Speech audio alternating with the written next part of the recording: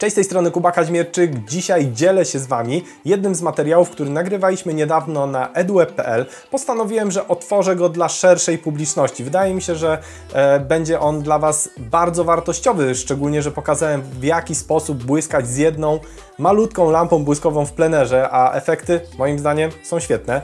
E, dajcie znać koniecznie, co sądzicie w komentarzach na dole i do tego zostawcie subskrypcję, a to jest tylko niewielka próbka tego, co przygotowuję regularnie właśnie na serwis edweb edweb.pl. Ja tam odpowiadam za całą ścieżkę fotografii, więc e, możecie się tam uczyć po prostu ze mną fotografii. Jest mnóstwo tematów. E, fotografia wakacyjna, krajobrazowa, fotografia ślubna, portretowa, produktowa, kulinarna, wnętrz i wiele, wiele innych. Jak również cały czas dogrywamy tam materiały takie, które Wy chcecie oglądać. Zapisy z różnych sesji zdjęciowych, e, tips and tricks, e, porady biznesowe i nie tylko. Tego jest naprawdę całe, całe mnóstwo. O wszystkim możecie przeczytać właśnie e, w tym linku, które widzicie poniżej. A tymczasem zapraszam Was do obejrzenia tego materiału, gdzie wykorzystywałem w sesji z Jagodą, która zajęła nam jakąś godzinę, może dwie, właśnie tą malutką lampę błyskową, no i co możemy z nią uzyskać. Więc temat wydaje mi się bardzo ciekawy, no i do tego koniecznie sprawdźcie sprawdźcie linki w opisie, a ja tymczasem zapraszam Was na moją sesję.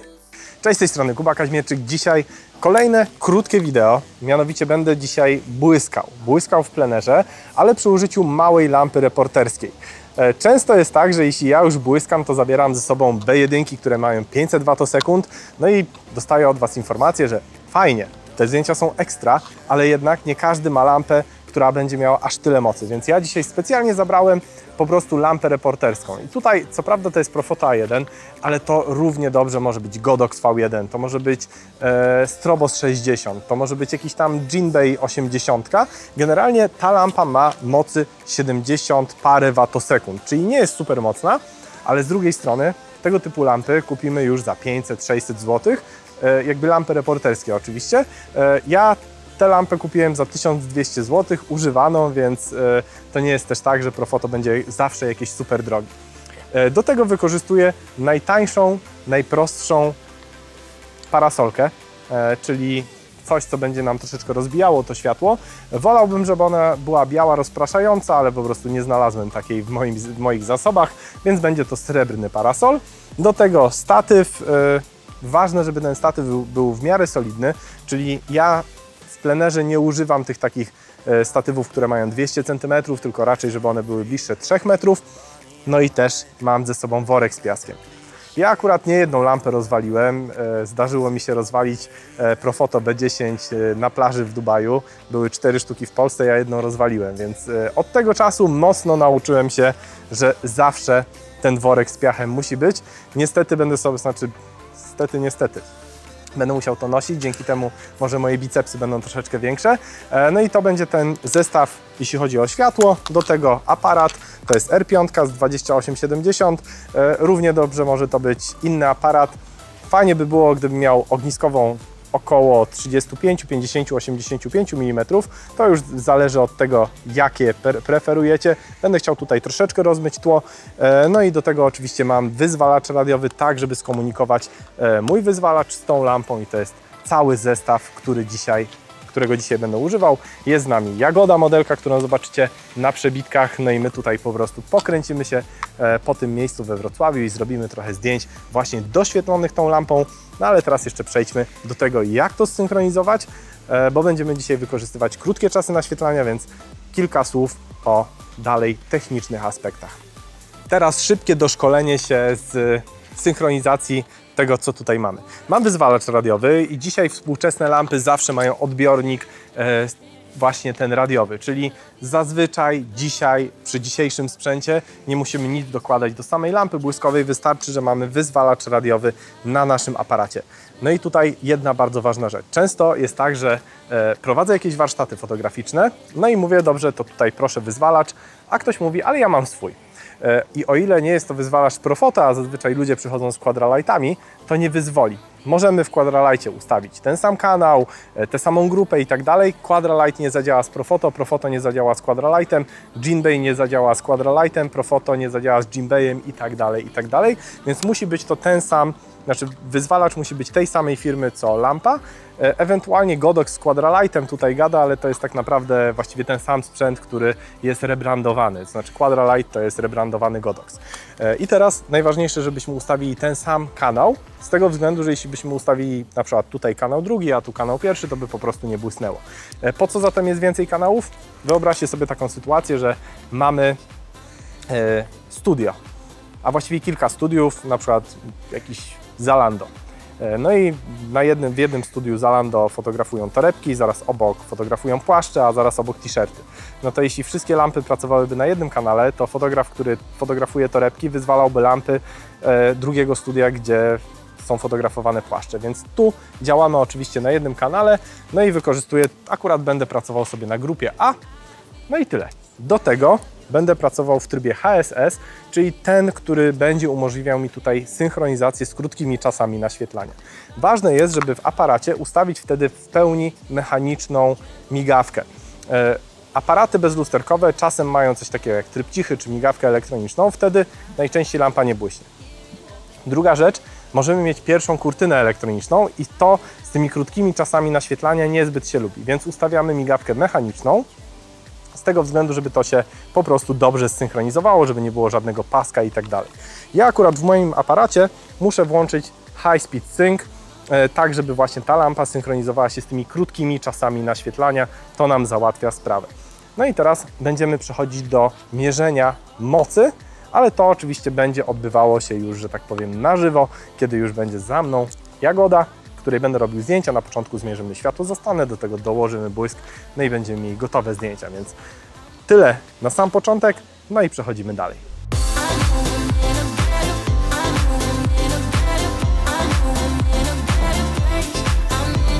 Jak widzicie, jest już z nami modelka Jagoda, ubrana w denim on denim. Myślę, że to będzie fajnie pasowało tutaj do tego takiego miejskiego klimatu. E, I co? E, teraz będę chciał wymierzyć światło, w jaki sposób będę tutaj pracował. Więc ja na sam początek, kiedy zaczynam fotografować, to na początku mierzę światło zastane. I teraz, jak ja to mierzę? Po prostu na oko. Ja jestem totalnym przeciwnikiem patrzenia na histogram, patrzenia na jakieś zebry, tego typu rzeczy, bo to mi wszystko przeszkadza w tym, żebym ja widział, jak de facto to zdjęcie wygląda. I teraz ja będę chciał tak, żeby to zdjęcie było troszeczkę za ciemne, żeby ten błysk mógł mi się przebić. E, no i co? Po prostu ustawię sobie mocno otwartą przysłonę, niech będzie to f2.0, w końcu taki obiektyw mam. No i teraz kręcę czasem naświetlania, żeby uzyskać delikatnie za ciemną ekspozycję. No i w tym przypadku to będzie około 1,800, 1 tysięcznej sekundy dla ISO 100. I teraz zrobię zdjęcie właśnie takie trochę za ciemne, a może zrobię je w poziomie, żebyście po prostu będziecie lepiej je widzieli. Ok, no i jak mamy to lekko zaciemne zdjęcie e, i to lekko zaciemne zdjęcie ja po prostu określam moimi oczami, jak patrzę na światłomierz, który mam tu, to jest najczęściej około minus 1 EV ale z drugiej strony jakby Jagoda założyła czarne ubrania, to pewnie by pokazywało inną wartość. Jakby założyła białą sukienkę, znowu ta wartość byłaby trochę inna, więc ja tutaj sugeruję się tym po prostu, co widzę. No i teraz włączam wyzwalacz radiowy. Mam tego HSS-a, czyli przełączyłem na wyzwalaczu radiowym, żeby synchronizowało mi się to z krótkimi czasami naświetlania. No i teraz robię zdjęcie z błyskiem. Tutaj od razu włączyłem sobie pełną moc, bo wiem, że e, te, tego typu lampy one potrzebują rzeczywiście dużo mocy. To znaczy, ta lampa jest słaba, ona ma 76 Wh, z nią jak mamy parasol softboxa, nawet nie mamy co się pchać w jakieś e, słoneczne miejsca, dlatego wybraliśmy zacienione miejsce, e, no i ona wtedy delikatnie gdzieś tam wypełni nam cienie, nie zdominuje i tak nam całej fotografii, ale ten błysk będzie tu widoczny, doda troszeczkę błysku w oku i myślę, że będzie całkiem fajnie. No i od razu widzicie w sumie ten efekt, więc e, Jagoda, troszeczkę do mnie, Super. No i tutaj ta pełna moc, akurat w tym przypadku, to jest troszeczkę za dużo. Więc co robię? Ja już nie kręcę resztą ustawień, tylko zmniejszę sobie na grupie A o minus 1. Czyli tam zamiast pełnej mocy będę miał pół mocy.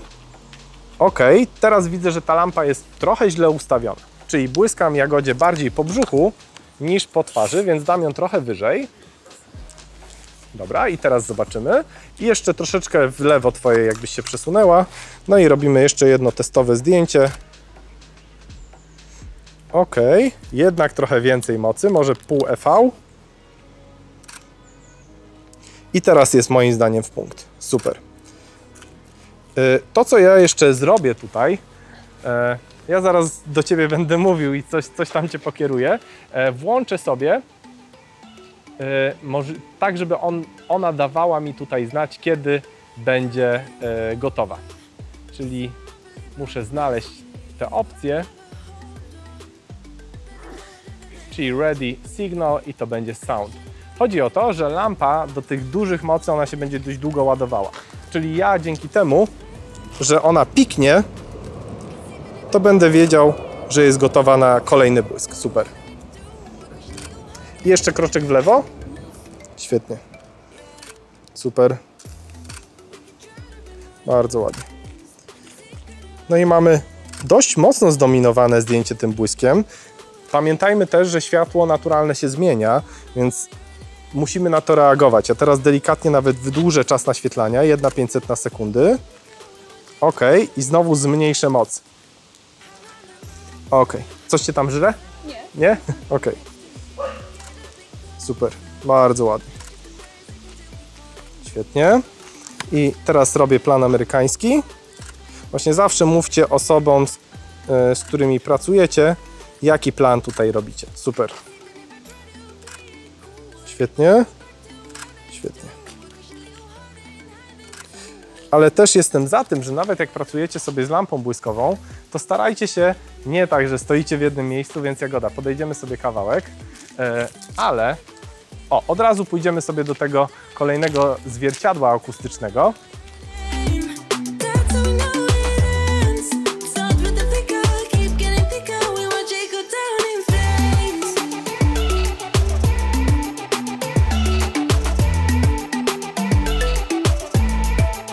Jagoda. Teraz może jakbyś sobie stanęła i oparła się tutaj o to. O, fajnie. Dobra. I zrobimy, zrobimy poziom tym razem. Ok. I tutaj znowu trochę mi się zmieniło światło. Oczywiście muszę jeszcze wycelować tą lampą, a nie tak jak przed chwilą, że błysnąłem nie wiadomo gdzie. Ok. I teraz lekko znowu wydłużę czas naświetlania, bo tu jest po prostu ciemniej. Super. Super. Świetnie. Pracuję sobie cały czas na ciągłym autofokusie, wykrywanie twarzy, wykrywanie oka. Super. I tak jak wspomniałem, ten błysk tu jest delikatny. Ok. Tylko wiesz co, nie obracaj mi się od, od światła. W ogóle zamienimy się lekko miejscem. O, świetnie. Super. Super. Ok, zrobię jeszcze trochę od dołu. O, fajnie. Świetnie. I teraz jeszcze Wam pokażę zdjęcie z tymi samymi ustawieniami bez błysku. O, przepraszam. Ok, wyłączam wyzwalacz i teraz włączę. No i tutaj ten błysk, on nam dodaje po prostu troszeczkę takiego, no po prostu błysku. Super. Świetnie. Świetnie.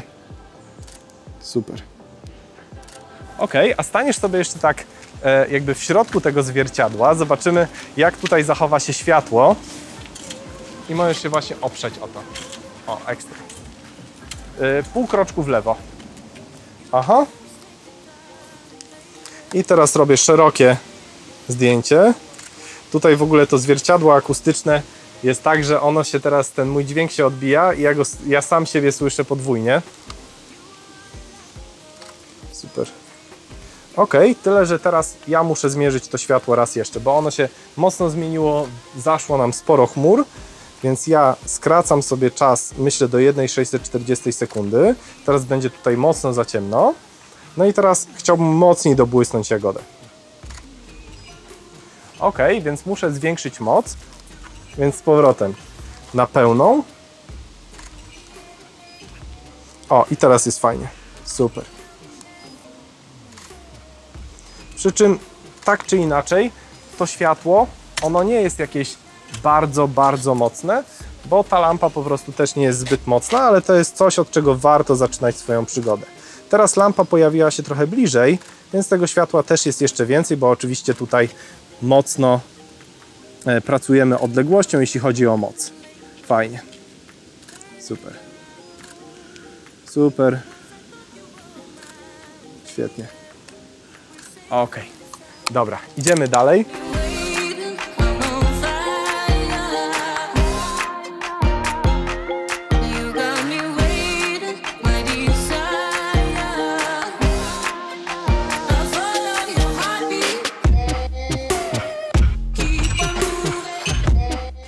Teraz właśnie będziemy mieć światło słoneczne jako światło kontrowe, więc ja znowu muszę zmierzyć światło, bo tutaj ono cały czas nam się zmienia.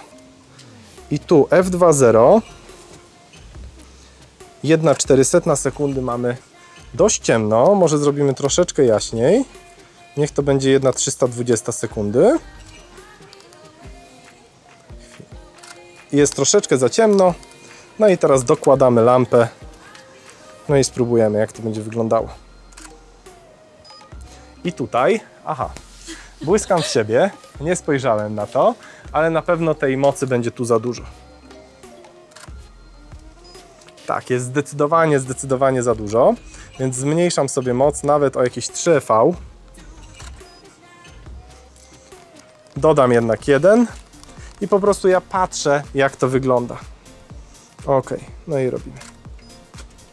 Jest ekstra. Super. I teraz zrobimy całą postać. Super. Ten śmietnik, który mnie tam drażni w tle, ja go sobie wywalę w postprodukcji. Ale teraz światło nam się zmieniło, jest go więcej. Więc skracam czas naświetlania.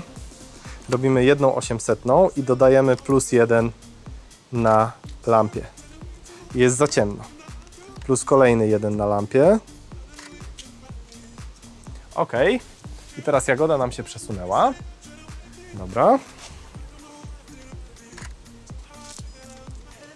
Ok. I lekko muszę odblokować tę lampę. Ten uchwyt też jest bardzo fajny, bo pozwala mi na... Znaczy, on ma taką, jakby to powiedzieć, sprężynę. Dzięki temu, jak go poluzuję, to lampa sama nie opada.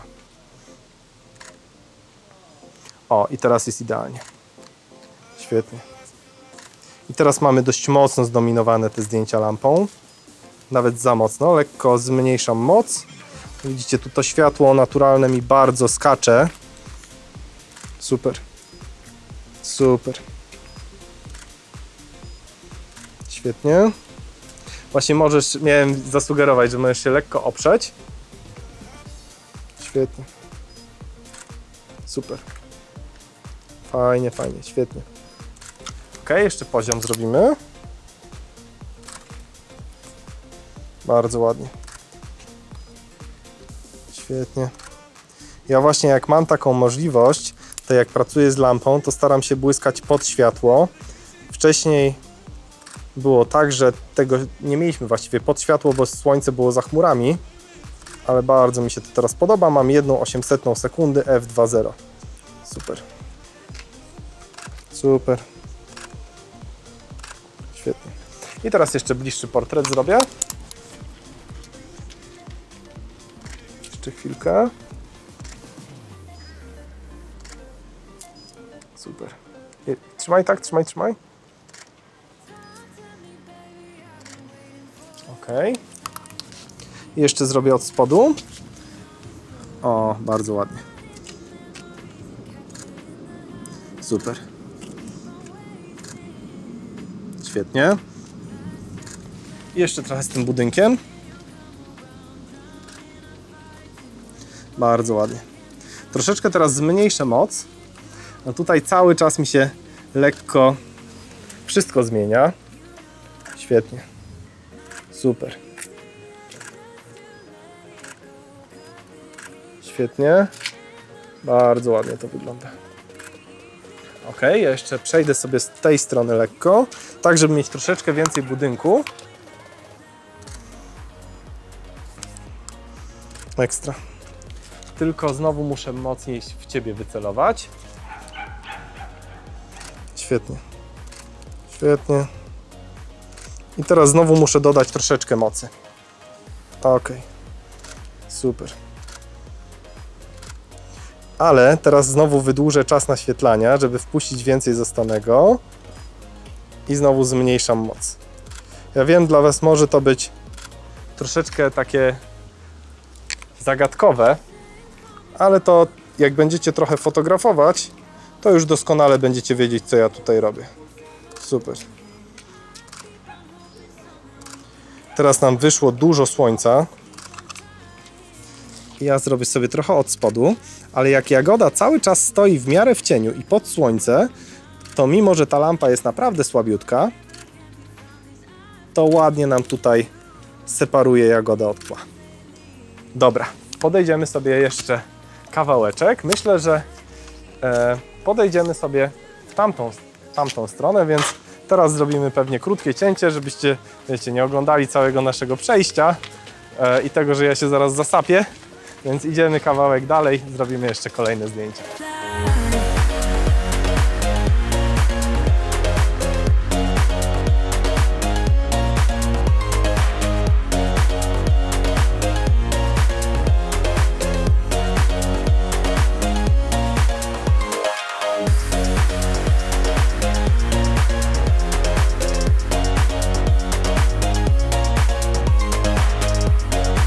Robimy kolejne zdjęcia, tym razem już wymieniłem baterię w moim wyzwalaczu. E, Co ciekawe, ten sam wyzwalacz mam do Olympusa i do Canona. E, W Canonowym jak tylko zaświeci mi się bateryjka, to znaczy, że mam jeszcze jakieś 15 minut, a w Olympusowym mam jeszcze 3 dni fotografowania. Taka ciekawostka, ale nieważne. Robimy zdjęcia 1500 f2.0 ISO 100 i jest bardzo fajnie. Ja robię trochę bliżej. Super. Świetnie, tyle że teraz to światło, jak się przesunąłem, ono się zrobiło bardzo boczne. Więc teraz przestawiłem lampę. O, ekstra. Przy czym tu widzę, że mam za mało zastanego. Tło jest za ciemne.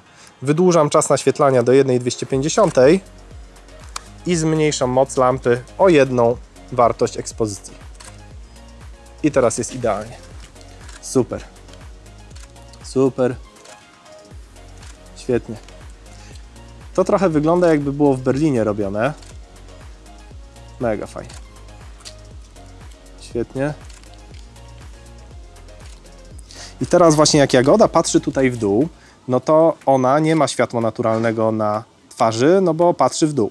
Ale dlatego ja dobłyskuję to lampą i wygląda to moim zdaniem świetnie. Super.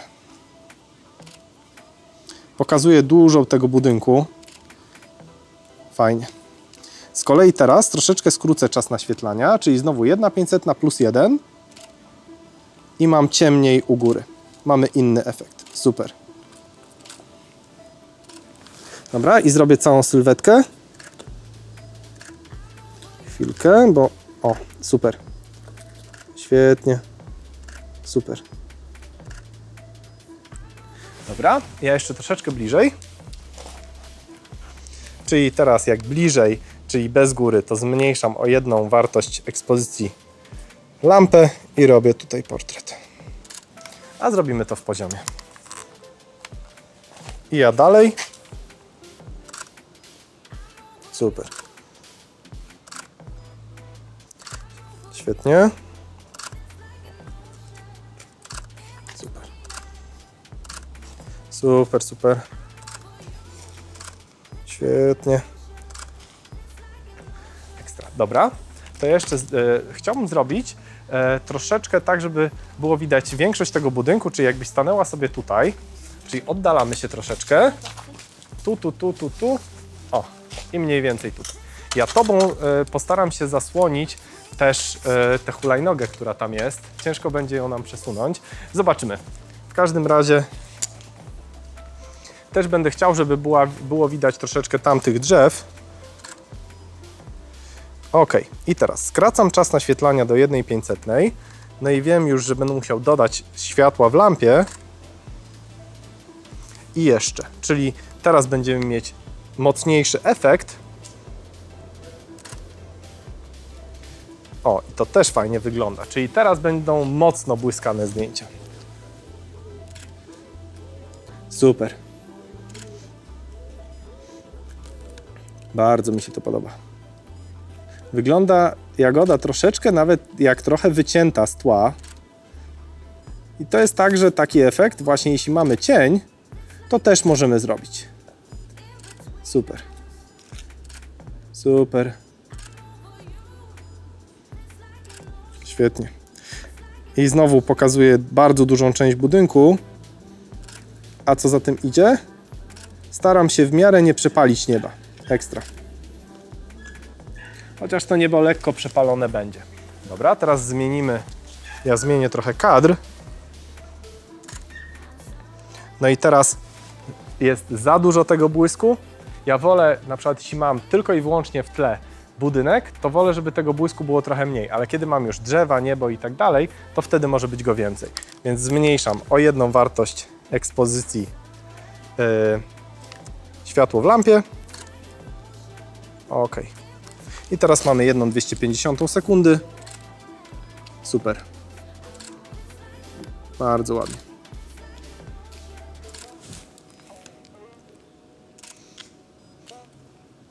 Świetnie. Super. Ok, a teraz zamienimy troszeczkę miejsca, czyli mieliśmy cały czas budynek w tle, a teraz zrobimy z drzewami w tle. Ok, troszeczkę bliżej mnie, bo uciekasz. A ja będę chciał mieć właśnie tym razem taki bardziej, bym powiedział, parkowy wygląd. Ok, czyli teraz zmierzymy sobie na nowo światło, bo mamy zupełnie inny wygląd. No i tu już jest zdecydowanie ciemniej niż tam, czyli będziemy mieć jakąś jedną 160 sekundy f2.0, tak to zdjęcie wygląda ze światłem naturalnym. A teraz włączam lampę. No i teraz jagoda jest zdecydowanie bardzo mocno naświetlona, ale troszeczkę za, mamy za mało cienia, to znaczy za krótki ten cień, więc daję tę lampę troszeczkę bardziej z boku. I tutaj mamy bardzo dużo tego błysku. Mogę spróbować włączyć jeszcze TTL-a. TTL to jest taki system, który będzie mierzył za mnie, jak ta lampa ma błysnąć. On raz działa lepiej, raz działa gorzej. A, tutaj miałem też korektę na plus, czyli teraz lampa błyśnie na 0. No i lampa, mamy moc 8,8. Mogę się przełączyć teraz na manual, może żeby to wytłumaczyć i usystematyzować.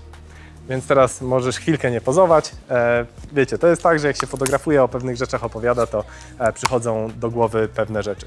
E, lampy, te reporterskie w bardzo dużej mierze mają właśnie system TTL. Ten system TTL sam mierzy moc błysku, czyli ja włączyłem sobie właśnie TTL i lampa wtedy wysyła przedbłysk pomiarowy, ten przedbłysk pomiarowy patrzy ile go wraca do obiektywu, e, no i następnie do tego dobiera moc lampy. Do tego możemy dać korektę ekspozycji, czyli jeśli widzimy, że lampa w tym TTL-u błyska za słabo, to możemy jej wskazać, żeby błyskała na przykład o 1 EV mocniej, bądź o 1 EV słabiej, bądź o 2 czy 3 EV. E, I teraz, jeśli ja widzę, że ten błysk jest ok, kiedy przełączę się z TTL na manual, no to wtedy on zatrzymuje tę moc, którą dobrał mi automat. Dobra, więc ja wracam, no i robimy, robimy kolejne zdjęcia. Ale ja troszeczkę jednak zmniejszę tę moc lampy, żeby on był delikatniejszy, ten błysk. O, i teraz jest idealnie. Super. Świetnie. Super. No i mamy, co prawda zielonego nie lubię, ale domyślam się, że na moich zdjęciach on będzie bardziej zgaszony i niebieski. Chociaż ta zieleń taka, bym powiedział, e, wiosenna jest jeszcze całkiem ok. Ok, super. I teraz zrobimy całą sylwetkę. Nie, cała sylwetka tutaj nie, po prostu za dużo dzieje się na dole, więc robimy plan amerykański. Super. Ja właśnie lubię też fotografować od spodu jakieś e, drzewa, z tego względu, że mamy bardzo ładny efekt bokeh. O, świetnie. Super. Dobra, słuchajcie, bo ja tak mogę fotografować i fotografować, e, a jeszcze chcemy dla Was nagrać o zachodzie słońca e, inne materiały, które też na pewno znajdziecie, a jeśli jeszcze ich nie ma, to znaczy, że jeszcze ich nie opublikowałem. W każdym razie, jak widzicie, mając tak naprawdę po pierwsze, porządną modelkę, po drugie, niezły aparat, a po trzecie, chociaż ten niezły aparat, ok, mógłby być gorszy, spokojnie mógłby być gorszy. Do, i do tego lampę reporterską też może być zdecydowanie gorsza. Tak jak wspomniałem, Strobos 60 za 600 zł, właściwie te efekty byłyby dzisiaj takie same. Do tego parasol za 20 zł, uchwyt tutaj akurat jest za 150 zł, statyw też za 150, więc to fotograficznie nie są jakieś drogie rzeczy. Dzisiaj nie wziąłem ze sobą lampy za 10 tysięcy, tylko zdecydowanie słabszą, ale te efekty Moim zdaniem mi się podobają te zdjęcia. Mam nadzieję, że Wam również. Jak będziecie mieć jakieś pytania, jeśli coś będzie dla Was niejasne, to oczywiście będę służył Wam pomocą. Dzisiaj nie opowiadałem bardzo dużo o jakichś technicznych aspektach, tylko chciałem Wam też pokazać różnicowanie kadrów, tego typu rzeczy. No jeśli będziecie chcieli się dowiedzieć więcej, to, to, też mamy materiały, gdzie te techniczne aspekty są dużo dokładniej wytłumaczone. Ale myślę, że jak mniej więcej już ogarniacie co i jak, to to, o czym Wam tutaj powiedziałem, też powinno być dla Was w 100%, w 100% jasne. Zachęcam Was do tego, żebyście robili zdjęcia też tego typu, no bo wiecie, światło naturalne jest fajne, ale ile można? To znaczy, oczywiście można dużo, ale z drugiej strony, mając tę umiejętność i mając taką lampę błyskową, warto dodać do swoich umiejętności, do swojego portfolio również inne zdjęcia, a te inne zdjęcia właśnie możemy zrobić przy użyciu wspomnianej lampy błyskowej, nawet takiej małej, reporterskiej i niezbyt mocnej. Tyle ode mnie, trzymajcie się i do zobaczenia. Cześć!